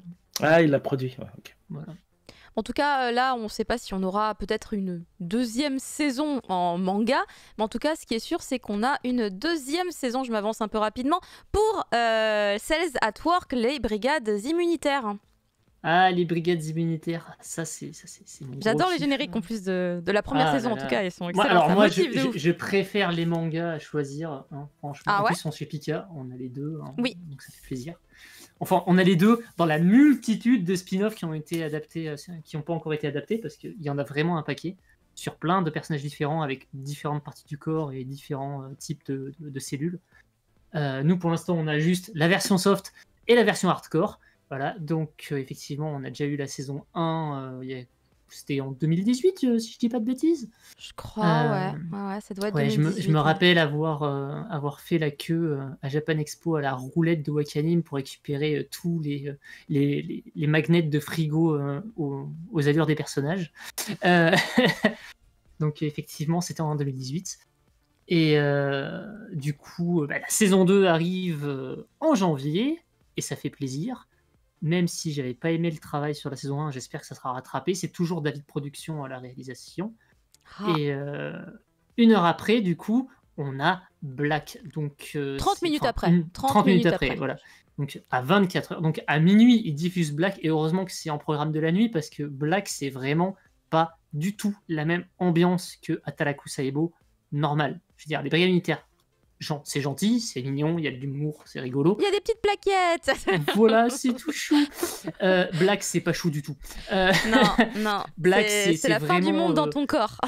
C'est la fin du monde dans ton corps, euh, c'est euh, des personnages exploités, euh, c'est euh, c'est vraiment un truc euh, qui, qui donne. euh, c'est le- une version très sale des personnages au bord du burn-out. euh, Et les trailers qui sont sortis. Faut vraiment pas être euh, hypochondriaque hein, pour le coup. Les euh, trailers qui sont sortis mettent, posent l'ambiance en fait. Ils disent ça, vraiment. ça pose vraiment l'ambiance. c'est- ils le mettent comme des films d'horreur. On est désolé, on on n'a pas les personnage, trailers, mais euh, Qui est beaucoup plus. Oui, euh, c'est pas grave. on a des en problèmes fait, techniques. on- De toute façon, on voit peut pas les passer, c'est trop violent. Le corps dans lequel ils, Même le premier ils évoluent. Ah ouais. il est beaucoup plus euh, fatigué. Alors effectivement, euh, il fume, il boit, il peut avoir le cancer, il a du diabète. Enfin voilà. Il y a des problèmes d'érection, si j'ai bien compris. Oui, aussi, euh, aussi, aussi. euh, euh, on il y a un passage, ils sont dans un euh, host club ou un truc. Non, c'est pas un host club, c'est un kebakula. Là, genre, mais, mais, qu'est-ce que- mais Nani Oui, oui, oui. tout J'ai beaucoup fait, aimé que dans. Black aussi, ils, inversent entre guillemets le, le sexe des, des personnages. Tout à que, fait. Du coup, c'est euh, le personnage qui incarne le sang qui devient un garçon, Qui et euh, un du garçon, coup, c'est euh, le globule blanc qui devient une fille dans Black, enfin qui devient qui, incarne une fille. Bon, c'est peut-être l'inverse. J'ai un peu de mal, je suis fatiguée, excusez-moi. Mais euh, du coup, j'ai bien aimé qu'on ait un peu l'opposé parce que c'est vrai que quand moi j'ai découvert euh, les brigades immunitaires, alors déjà, je suis tombée amoureuse du globule blanc, littéralement. moi aussi. tout- Euh, Quel impact L'impact, il rayonne. ah, il est incroyable ce Personnage. euh, tout stoïque et tout. euh, Non mais il est beau garçon. Non, mais du coup, dès dès qu'il rougit ou dès qu'il se passe un truc, ça prend un impact fois 1000, tu vois, direct. Parce que, parce que justement, il est très, très sobre et tout euh, dans sa manière de se comporter. Euh, du coup, oui, je, voilà, je suis très contente d'avoir la version opposée du sexe, enfin, la version du sexe opposé dans l'autre version. J'ai hâte de découvrir ça. J'imagine qu'en toute logique, ça devrait arriver chez Wakanim, puisque la première Bah, saison est chez Wakanim. Il n'y a pas de raison. Voilà. Voilà, mais, non, mais maintenant, je sais qu'on peut avoir des surprises, donc euh, je m'avance plus trop, Si, si, si. trop, trop. Mais bon, Ouais. on se dit que ça serait euh, non. S'il n'y a logique. pas de coronavirus euh, confinement 3 au Japon, normalement ça sera diffusé. hein. Voilà. Ouais, bah alors je vais toucher du bois. Voilà. on touche du bois. Donc voilà les trailers, en fait, on n'y a pas accès parce qu'il faut demander un accès à moi, mais je reçois pas la demande. Donc euh, C'est une anomalie.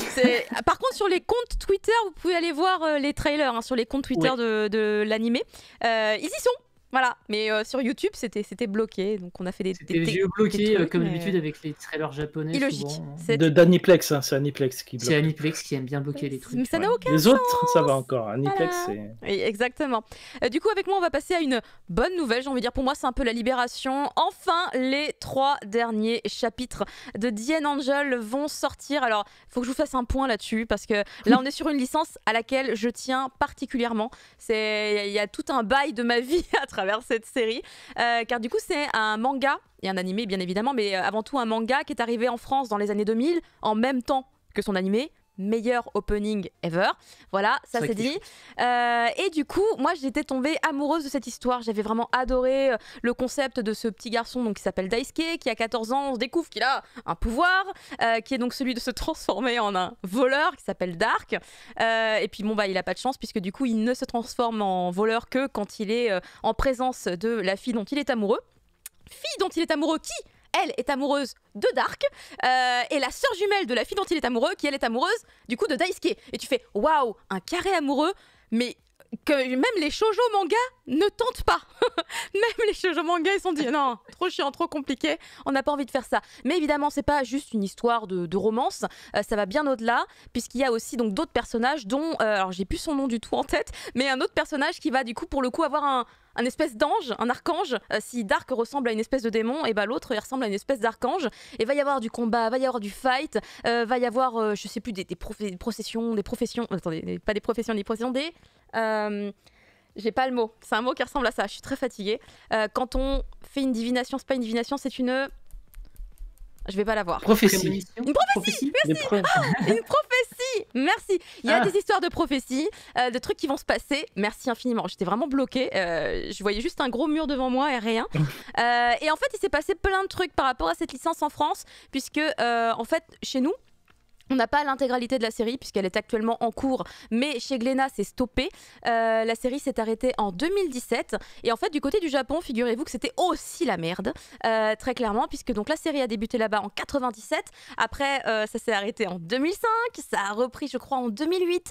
Enfin ça a l'air d'être très compliqué. Il y a un tome 15 qui est sorti comme ça là en 2011 et puis il y a eu plus rien quasiment. Enfin ça a l'air d'être très compliqué puisque du coup la publication semble avoir repris de manière régulière de depuis seulement mai 2018. Qu'est-ce qui s'est passé? Je sais pas, j'ai vraiment pas les détails. J'avoue ne pas avoir été cherché, mais euh, je, pensais que les, réponses seraient évidentes et ce n'est pas le cas. Euh, et donc du coup, le Japon s'est dit incroyable, on est en train de terminer cette série, on n'y croyait plus trop. Du coup, qu'est-ce qu'ils vont faire? Ils ont prévu euh, une nouvelle édition de manière à, compiler tout ça euh, de la manière la plus harmonieuse et plus homogène possible, j'imagine bien. Donc ça a l'air très beau, j'avais vu les visuels passer il y a quelques mois et euh, bah, du coup je croise les doigts pour qu'il y ait un éditeur en France qui, bah, qui, qui, rachète cette licence et qui du coup nous propose cette nouvelle version enfin terminée. Moi j'ai mes 11 petits volumes chez moi euh, parce que du coup j'étais même pas allée jusqu'au 15e. J'ai découvert en écrivant cette news que le 15e volume était sorti en France quand même et qu'après Glénat ils ont fait oh là c'est la merde, on arrête. Je comprends plus ce qu'il faut faire avec cette licence, ça n'a plus, euh, plus de sens. Et euh, du coup j'en ai 11. Voilà, j'en ai 11. Les 10 premiers volumes, il y a une charte graphique. Le 11e, ça change. J'étais là, mais qu'est-ce qui s'est passé? Donc, j'ose même pas imaginer ce qui a pu se passer pour les autres. Est-ce que vous, vous connaissiez The Angel? Euh, C'est un manga du Jump, à la base? Je ne crois pas que ça venait du Jump. Il me semble que ça venait d'un autre magazine qui s'appelait le euh, Asuka Monthly ou un truc comme Asuya, Asuka, je sais plus. Ça venait d'un magazine qui portait un nom qui me disait, qui me disait rien du tout. Euh, attends, je, vais te dire ça. Parce que du coup. Euh, je connais pas. non, mais sérieux Je connais l'anime, forcément. Je connais l'opening, voilà, évidemment.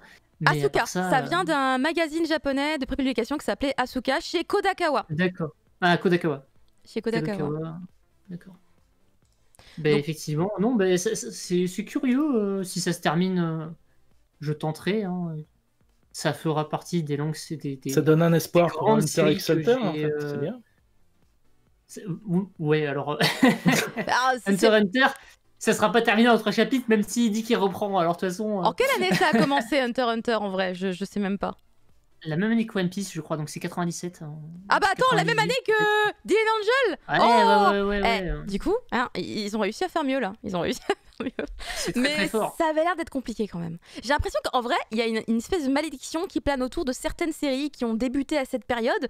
Euh, parce qu'on va parler de Hunter Hunter, on peut parler de The Angel. Je pense également aussi à Shaman King. Parce que finalement, euh, il y a aussi eu plein de trucs. Enfin, l'auteur, a priori, s'il a fait 45 séries spin-off autour, c'est parce qu'il n'avait pas euh, pu finir comme il voulait, tu vois. Donc, euh, Mais là, il a fini comme il voulait, donc ça va. Je sais pas, il a l'air de continuer parce qu'en fait, il est pas content. donc, euh, bah, il, a, il, a terminé son histoire Il a fait Flower, il fait avec les gamins. il, est, pas content. il est pas content de comment ça se termine Flower, a priori. Ah bon? Ouais, Flower, Encore? Flower, ça s'est Oh terminé là en là. 6 volumes seulement, mais a priori, de ce que j'ai cru lire sur le net, c'est- il est quand même pas satisfait. C'est genre, on l'a un peu on forcé a à finir Shaman à 6. King euh, Superstar, on a Shaman King Ouais, il Flowers, y a plein de Shaman King. Plein. euh, Crimson, je, je sais plus quoi. Enfin, de toute façon, moi j'ai tous les achetés. Hein. Si Canal et sort, allez-y, prenez mon argent, il n'y a pas de souci. Mais moi, Shaman King euh, Next Generation, moi, je suis complètement euh, ok. hein. Moi, j'adore Flower. Moi, je me délecte de Flower, vraiment. Je- J'adore. euh, je kiffe. Alors, je sais pas si les gens qui n'ont pas lu Shaman King pourraient autant kiffer, mais moi, je suis dans un kiff incroyable. Vraiment. Moi j'adore hein. Shaman King, de toute façon, c'est une série que j'adore le trait de cet auteur. J'aimerais bien récupérer les Ultimos à l'occasion parce que j'ai jamais pu le faire euh, à l'époque. Hmm. Est-ce que par hasard, euh, tu trouves pas que le trait de, de l'au- de l'artiste, justement, il a va- vachement changé quand même entre, Il a euh, beaucoup évolué, si, si, bien sûr. entre Et Flower que- et, et Shaman King Mais moi, je le- préfère son trait de Shaman King. Je sais pas comment dire, tu vois. C'est bizarre. Bah, J'aime beaucoup le trait de Flower, alors il est plus épuré en fait. Il, Euh, ouais, euh, non, mais euh, le mec, il s'est dit, on va arrêter de d'ancrer trop. on va faire vraiment des traits très fins. Et il est vachement Ouais, plus ouais. sec, je trouve, dans son geste. Enfin, c'est l'impression qui ressort. Euh, Euh, Après, il, a- il, a un- avait un trait qui était très aiguisé en fait dans Shaman King, je trouve. il avait vraiment presque pas grave, mais c'était très street. Ça me fait penser un peu à du street art. Thunder Geek en train de confirmer tout ce que je dis, tu vois. C'est la Shueisha qui, à chaque fois, fait Bon, écoute, euh, je suis désolée, mais il faut que tu t'arrêtes. C'est- bizarre parce que Laissez-le finir. de- de mémoire, euh, justement, euh, Take euh, c'était, euh, avait racheté la licence Shaman King à la Shueisha pour pouvoir terminer chez un autre euh, distributeur, chez la Kodansha. Bah oui. Euh, voilà. Et euh, effectivement, il me semblait que Flower et compagnie étaient du coup chez Kodansha maintenant et qu'ils pouvaient continuer chez Kodansha parce que de toute façon, bah, c'est taqué et qu'il fait ce qu'il veut et que chez Kodansha, bah, ils, ils peuvent juste fermer leur bouche. Ouais, ouais, la série a été euh, rachetée par Kodansha, c'est ce qu'il dit aussi. Et là, il fait une troisième série parce qu'il en peut plus. il en peut plus, les gars. Au secours. Euh. Si jamais euh, Hiroki Take vous intéresse, euh, il y avait euh, une interview de lui euh, qui est disponible sur YouTube euh, chez nos amis de- anciennement Archipel, euh, si vous connaissez cette, cette chaîne YouTube. Très bien. On va parler du coup euh, maintenant avec toi justement prof de euh, une licence que vous connaissez peut-être, The World Ends With You. Ouf, que je connais pas du tout parce que moi je joue pas aux jeux vidéo, n'est-ce pas? Je suis un mauvais otaku. Euh, Donc effectivement, c'est une licence de. Il y a pas un manga qui existe qui a du même nom d'ailleurs? Non, ça me The Wild quelque End chose. With You? Ouais, il y a un manga. un manga Chez c'est Kazé, non été adapté, ouais. Putain, on est dans les vraies rues. Attends, c'est les vraies rues. Je, je reconnais, je reconnais, c'est Shibuya. C'est. Shibuya reproduit, oui. Bien sûr. hein. Ça se passe à Shibuya.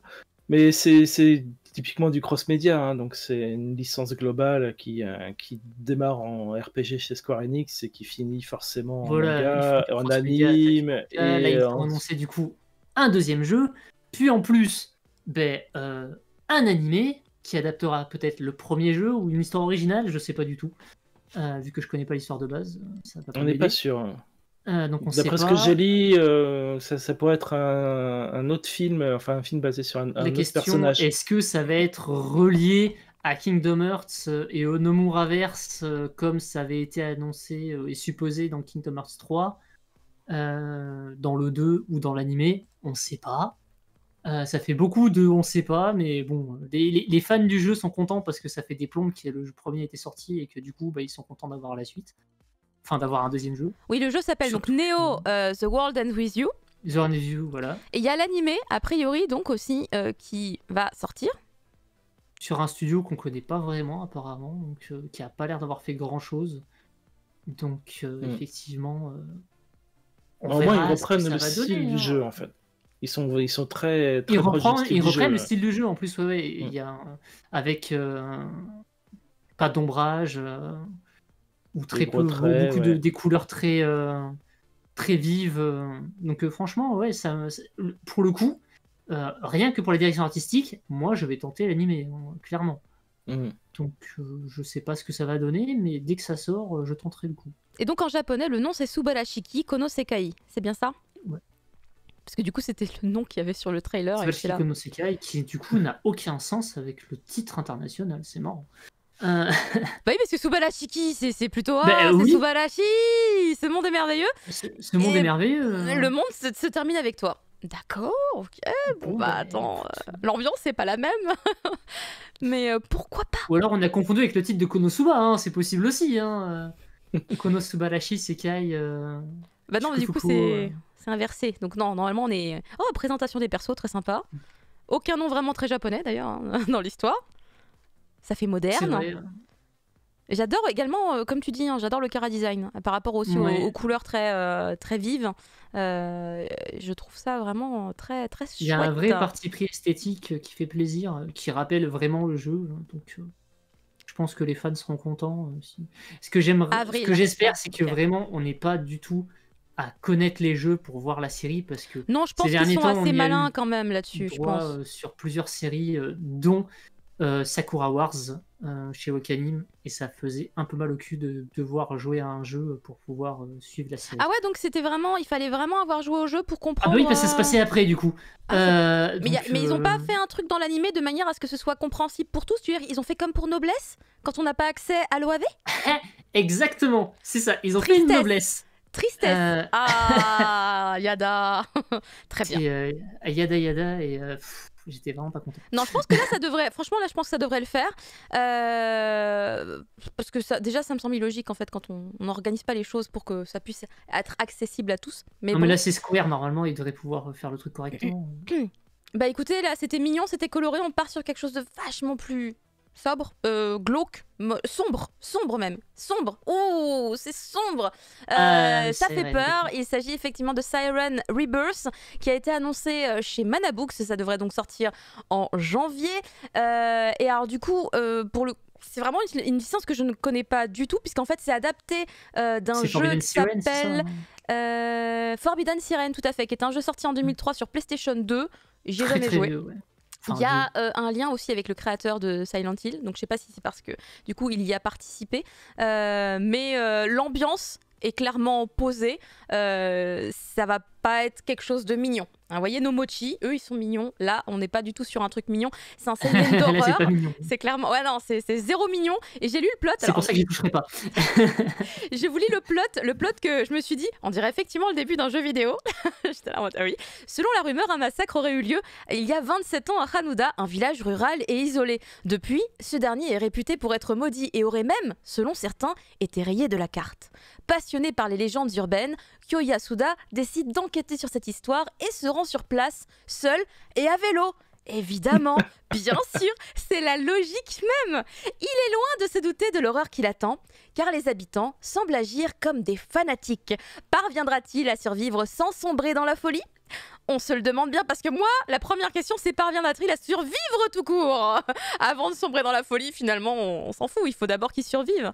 Mais bon, ça, c'est pas du tout ma, ma cam non plus. Hein, en termes de bouquins, j'aime pas trop me faire peur et après faire des cauchemars, tu vois, c'est pas mon délire, mais ah, Iwa-chan sur le chat est hypé, tu vois, il est en mode. Ça a l'air oh, Ça a l'air trop bien.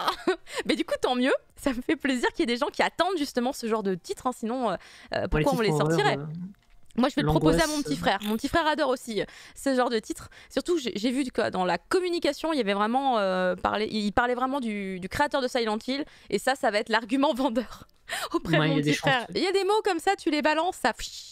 Ah oui, d'accord, il y a pas de problème, je le prends. Donc, c'est ça, euh... argent. C'est ça, lui il va réagir comme ça. Donc voilà, est-ce qu'on a pris une bonne dose euh, de glauque, d'horreur hein, Parce que du coup, je vous propose de partir sur quelque chose de beaucoup plus coloré, plus pastel, avec du coup cette euh, annonce toute douce qui a été faite par Akata tout à l'heure, A Sign of Affection, une super bonne nouvelle pour moi, ça me fait extrêmement plaisir. C'est un joli shoujo qui débarque dans leur collection pour 2021. Euh, le nom japonais de ce manga, c'est Yubisaki to Lenlen. Je trouve ça très mignon aussi à prononcer en japonais. Et si ça me rend si heureux, c'est parce que c'est un titre qui vient du magazine Dessert. J'adore ce magazine. De là-dedans, on a eu Mon colloque d'enfer, on a eu justement très récemment euh, À tes côtés qui est disponible aussi chez Akata. J'adore, j'adore, j'adore. Et euh, du coup, je ne connaissais pas du tout euh, ces artistes, puisqu'en fait il s'agit d'un duo d'autrices, euh, Sue Morishita, donc c'est une appellation ainsi, mais euh, elles sont deux a priori derrière. Il y a déjà eu d'autres titres de Sue Morishita sortis en France, mais je ne les ai jamais lus, donc je ne connaissais pas trop le style de ces artistes. Mais l'histoire est vraiment super, super mignonne. J'ai été lire du coup tout de suite après avoir vu l'annonce le premier chapitre qui est disponible gratuitement en japonais, je dois l'avouer, sur le site tout simplement du magazine Dessert et c'était tellement cute, c'était adorable. En fait, ce que j'ai trouvé très intéressant, c'est que pour un shojo, qui est en plus tiré de ce magazine, qui quand même va souvent parler de romance lycéenne, très clairement. Là, on est sur un bail un peu au-dessus. Oui, ce sont des étudiants en fac, tout simplement. Donc déjà, ils, sont adultes, ils sont majeurs. C'est trop bien. Et le truc que j'ai adoré, c'est que l'héroïne est sourde. Et ça, déjà, c'est un peu atypique. Je dis pas que ça y est, il y en a plein partout, tu vois, de tous les côtés. Parce que du coup, moi, ça m'a rappelé euh, un petit peu. Euh, alors, déjà, j'ai pensé à Silent Voice, mais j'ai pensé à Perfect World. J'ai pensé à un petit peu tous les ah titres où il y a un handicap quelque part. Euh, et donc, en fait, elle est alors, je sais pas si elle est, muette ou elle est sourde. Je crois qu'elle est sourde, en fait, ça doit être ça le, truc. Mais du coup, sa manière de communiquer avec ce, jeune garçon euh, jovial, qui en plus euh, a roulé sa bosse un peu partout et est hyper bavard, il parle plein de langues différentes. Euh, et en fait, ils vont beaucoup communiquer par le regard au début, au moment de leur rencontre. C'est extrêmement mignon une espèce de magie qui se crée entre eux. Et euh, bah, du coup après euh, ça va être une histoire finalement euh, pas toi pas niaise. Ça va être quelque chose de très doux et très joli. Je vous montre d'ailleurs un petit peu au niveau visuel. Voilà c'est le moment on va dire où ils se rencontrent vraiment et qu'en fait elle lui fait comprendre mais qu'elle communique avec les mains hein, elle communique avec les mains et elle essaie de le remercier parce qu'en fait elle a eu un petit souci. Et bah, il est venu à sa rescousse tout simplement.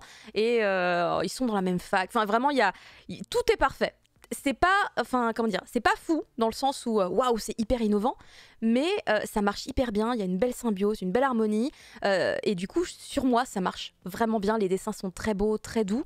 Je pense que je vais beaucoup aimer ce que proposent ces artistes. Si comme moi, on est euh, un peu pressé et qu'on n'a pas forcément envie d'attendre 2021. Euh, en fait, euh, Akata a mis en place un système qu'il a déjà mis en place pour d'autres titres, à savoir de rendre disponible à la vente les chapitres au format numérique.